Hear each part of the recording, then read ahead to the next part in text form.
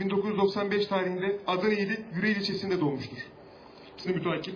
21 Temmuz 2015 tarihinde Diyarbakır İl Jandarma Komutanı 2016 tarihinde Kocaköy Sur yolu Ali Bardak Köy yolu ayrımında asker aracın geçiş yaptığı esnada bölücü terör örgütü mensuplarınca döşenen